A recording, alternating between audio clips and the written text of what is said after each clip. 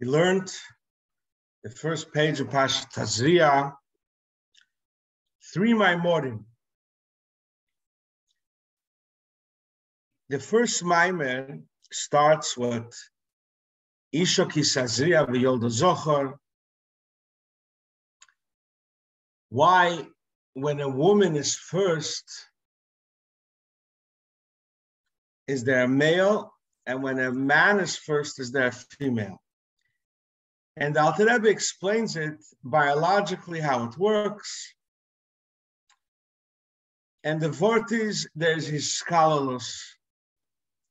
Even though a Zohar is chesed and a nekeva is gvura, but there is in a Zohar gvura shebechesed. And since a Isha is gvura, if he's first, so his gvura becomes an Isha, and there's chesed in the Isha. So if the chesed is first, it's a zocher. We have to understand how this works and what's uh, what, but that he, he teaches us the idea of hiskalelus. On the foothills of that mimer comes a second mimer, explaining why the North Pole is cold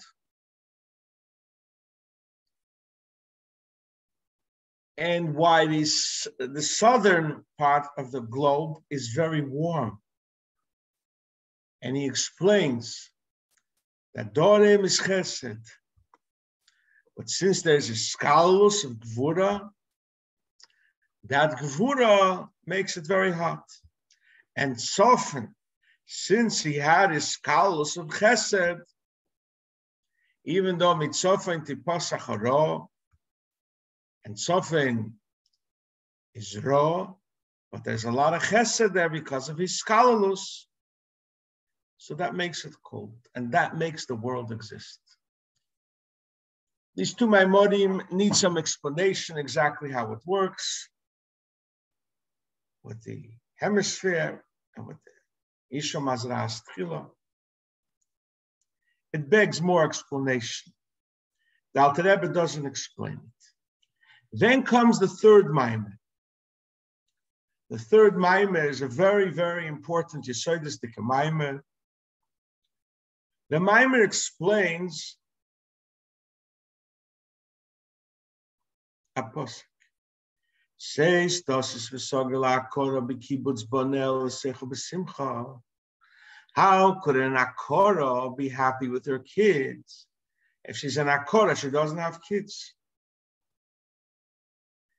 this comes the explanation. What does it mean by avoida? Ishok he says zochar. What does it mean in avodas Hashem? Because Klal Yisrael is the Abishter's wife. So when Ishok he says when we work hard to be me'er aviyah to the Abishter, we have boys. Boys means an av of a yira, a total bittul to the Abishter even though by being nichol and the Rebishter you will cease to exist, you don't care. You want the Rebishter. You're not thinking about yourself at all. And there's the old in the cave. If you didn't initiate the Ava to the Rebishter, then you have an akeva means you think about yourself, about what you're getting. You want to be close to the Rebishter. So you'd rather have Gan Eden where you could enjoy rather than being Nichla and Atzmas Mahos where you cease to exist. So this is Pshat Akora. Akora doesn't mean that she can't have any kids, but she can't have any boys. Since she has Simcha Shal Mitzvah, Simcha Shal Mitzvah. Just, it's, a, it's guided by the Ebershter Simcha, and even though Alpi Maimer Kavamida, it should be since you didn't initiate the Ava. So you should have an akeva. Uh, but since you have simcha when you have a mitzvah, you're excited to do a mitzvah. That breaks all barriers, and you get the akoras happy with the bodim schorim b'simcha. The Rebbe finishes the Maimah that when you have an ava and you forget about yourself and you just love God and you don't care if you'll be bottled or not, like a nair, like a candle and a torch. It becomes part of the torch. Then you will never fall. If you're self-conscious, you'll fall. But if not, the pasuk says you will not serve your enemies, you will not fall, because you forget about yourself, and you just think about the Rebishter, about being connected to Him. If that's your only goal, you cannot fall. Amazing mind. Yeshikoyach, everybody.